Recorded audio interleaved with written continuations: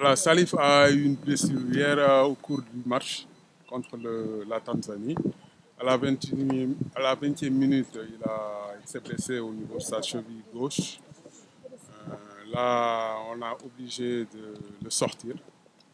Et à la fin du match, nous avons eu à l'amener à l'hôpital pour faire euh, des examens radiologiques.